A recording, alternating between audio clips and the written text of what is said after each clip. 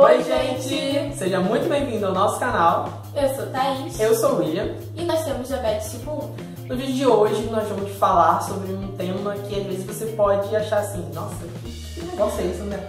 Um calombinho que dá no nosso corpo. E hoje a gente vai falar sobre isso. O nome desse calombo, né? Vamos chamar de calombo, que eu acho é. mais fácil.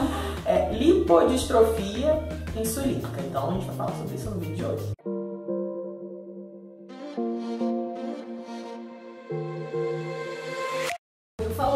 Vamos falar sobre a, sobre a lipodistrofia, um palavrão, né? Bem esquisito. Pode ser conhecido também como.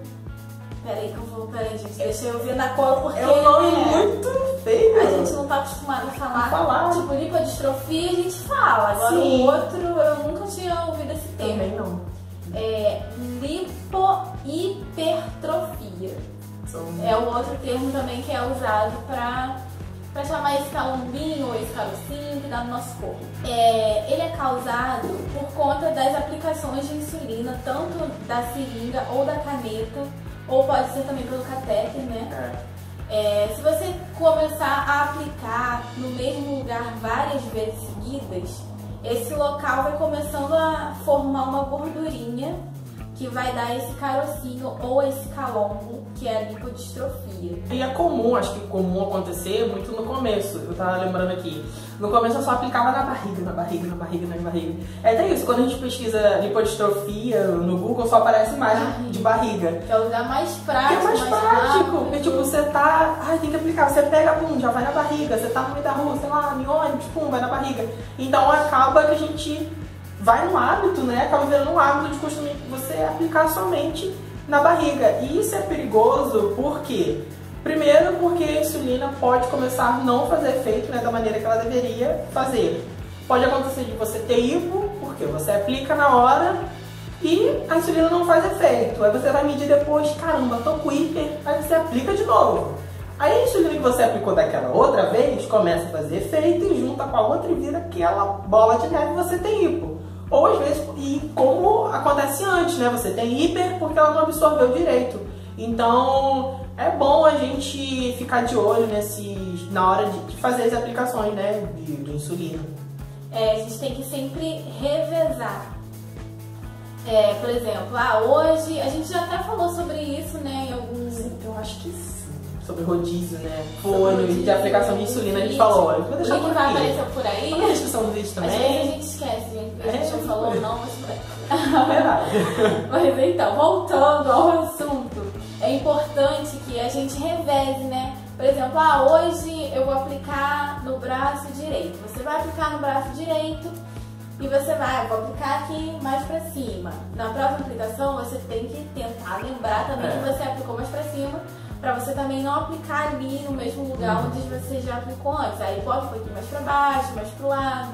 No outro dia você vai para o braço esquerdo, depois para a perna direita, perna esquerda, e assim você vai revezando e não vai correr o risco de você sobrecarregar aquele lugar de aplicações e dar esse carocinho e dar lipodistrofia, né? Porque o local já vai ter descansado bastante, bastante. até você até voltar. Você voltar, verdade. Até o rodízio também, já pegando gancho, eu faço nos dedos também. Tipo, ah, hoje eu vou, começo nesse dedinho aqui, eu faço oito por dia. Então, assim, uma eu faço aqui, outra eu faço aqui, outra eu faço aqui, outra eu faço aqui, outra eu faço no meio e por aí vai. Então é bom a gente fazer esse rodízio, até porque a gente falou para descansar, né, o, o, local de aplicação.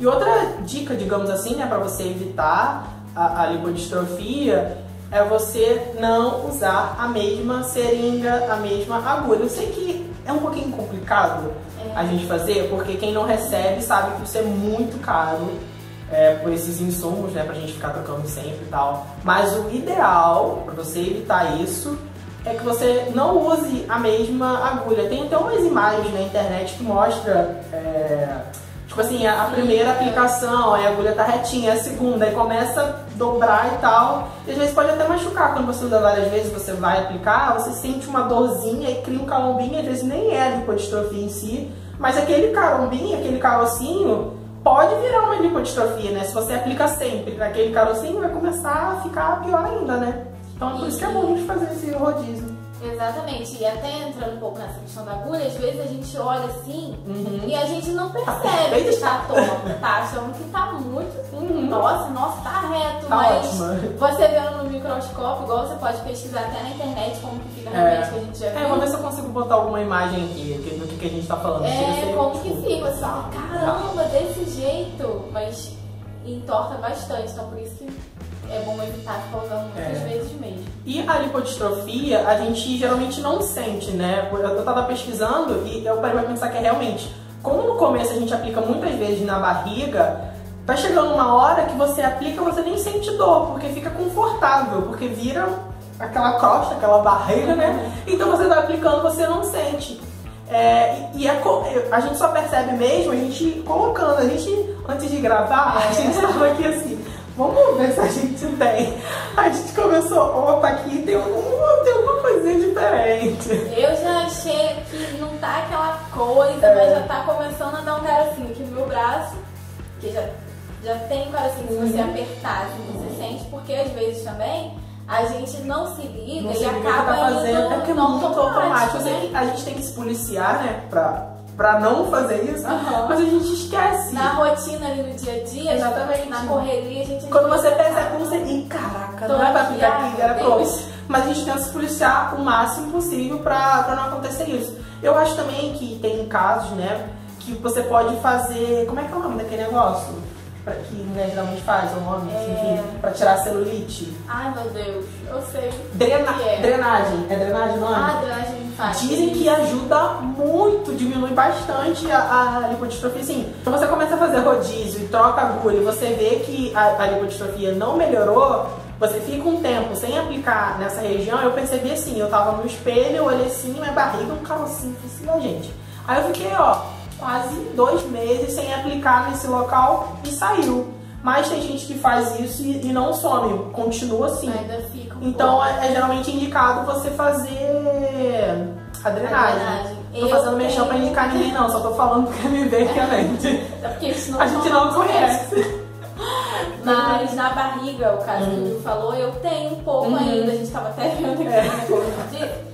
E eu também percebi assim no espelho. E o Uhum. meu eu parei de aplicar na barriga com É, na maioria dos casos melhora, sabe? É, não saiu 100%, totalmente. é. Ainda tem um pouquinho. Tem um pouquinho, já mas você evitando aplicar no mesmo local.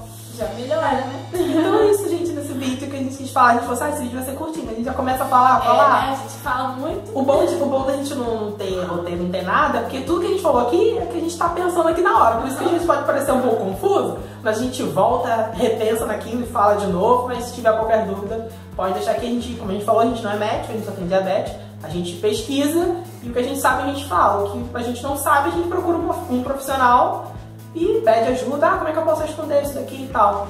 Então é isso, né? Espero que vocês tenham gostado do vídeo. Se inscreva no nosso canal. Ah, a gente chegou a mil inscritos semana passada. Gente, que lindo! Depois a gente vai fazer um vídeo, um negocinho mais especial pra comemorar isso, que a gente ficou muito feliz. É. Porque esse número é muito grande, ainda mais pro YouTube, ainda mais pro assunto que a gente fala, né? Sobre diabetes, que não é uma coisa assim, uh, tô aqui à toa pesquisar sobre dia- sobre diabetes. Não, é um assunto que a gente precisa falar muito. Enfim, é isso, não vai, não vai ser o tempo assim, né? Então é isso. Tchau, tchau, até o próximo vídeo. Tchau, gente. Beijos doces. Tchau. E assim, não, eu não emagreci de uma maneira saudável, então é, as pessoas perguntam, ah, você fez educação, você fez, como é que é, bariátrica, você tomou aquele shake lá que eu não falo, não concordo com aquilo. Não, eu tomei vergonha na cara, fui pesquisar, fui ouvir a opinião de outro médico e comecei a fazer o meu tratamento da maneira correta, comer os, os, os nutrientes da maneira correta, porque cada indivíduo é de um jeito.